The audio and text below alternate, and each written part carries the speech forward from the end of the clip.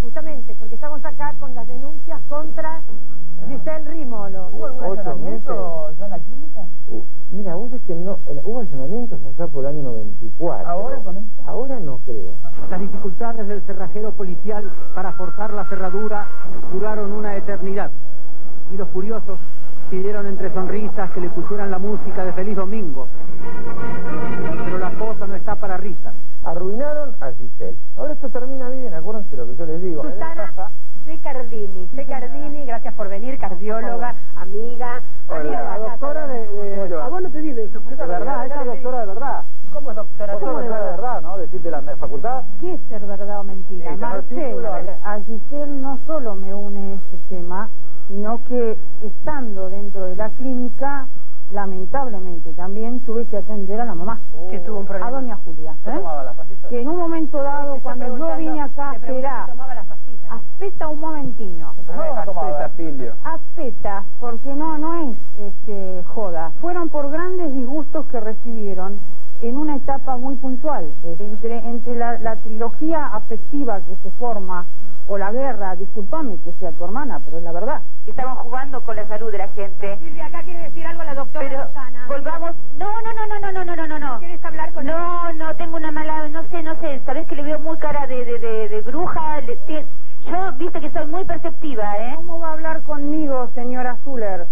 Si la que maneja justamente la brujería es usted. ¿Alguien le pagó a esta mujer? Señora, vaya a hacer un banda con la madre de soldado. Ayer estuvo el, el cuñado de Ponce, o sea, el hermano de la señora, en otro programa de, de, de, de- de- creo que del canal de ustedes, diciendo que, bueno, que se había separado de su mujer porque en realidad, eh, como él es muy familiar como su hermana, se había separado y lamentablemente porque su mujer no quería tener hijos. Este muchacho es homosexual y nunca tuvo ninguna chica. O sea, no quedaba embarazada. Entonces esto lo sabría Soldán. Lo sabe Soldán. Por eso Pero, pero por ¿cuántas eso veces compartimos con la chica Claro, luego- si venían ellos, Por eso ven- lo venían cuenta a eso. casa y estaba él, estaba María Ofelia, yo y ellos. Y tomábamos café, qué sé yo, que era cuando llegaba él medio borracho y con los ojos entrecerrados, le decía Silvia, sucia, sos sucia. ¿Borracho Ay, llegaba. Obvio, Sí. viejo y feo, porque la gente no sabe lo que es en persona. Con esa capa de maquillaje así, todo lo... Yo, yo soy macho, yo soy macho. ¿Hasta dónde? Todos somos machos y después entre cuatro paredes, ¿qué pasa? ¿Entendés? Y la- los hábitos que tenía este hombre en la ¿Qué cama... hábitos? No le gustaban cosas de hombre. No te puedo poner las posiciones. No, no, por porque favor. Es... Y después cuando estaba seco de vientre, el señor, ¿Cómo? en vez de tomarse una pastilla, Silvia le metía un enema. Y ¿sabes qué? Cuando Silvia, que le daba asco todo eso, ponía el cañito, se acercaba y el cañito se le perdía. Nunca más encontraba el cañito. Brujerías, ¿hablas de eso? Sí, sí, sí, sí, sí. Peor, diabólicas. Porque ella tiene un pacto con el diablo hasta los 100 años, acuérdense, no se muere. Es más, para mí la muerte, decimos, fue causada por ellos. Para mí lo obligaron mentalmente, telepáticamente a que se tire por la ventana. Justo tener en el tapete eh, la muerte de Soldán, la muerte de Soldán y tratando de... Eh, yo no induzco a la muerte de Simons. ¿eh? Simons era mi amigo yo lo quise mucho. ¿Pero por qué a él? Porque quería ocupar el lugar de él. Le tenía celo. Y fíjate que ocupó el lugar de él. Lo que pasa es que le fue mal. Comienza una nueva edición de Chate Show por Telefe y vamos a presentar a las primeras dos participantes. Mi hermano fue una persona que pocas veces tomó vacaciones y muchas veces me comentaba que tenía que volver porque siempre lo tenía Silvio Soldán, como se dice acá en el, en el medio, dispuesto a serrucharle el piso. Y me toca a mí la, la tremenda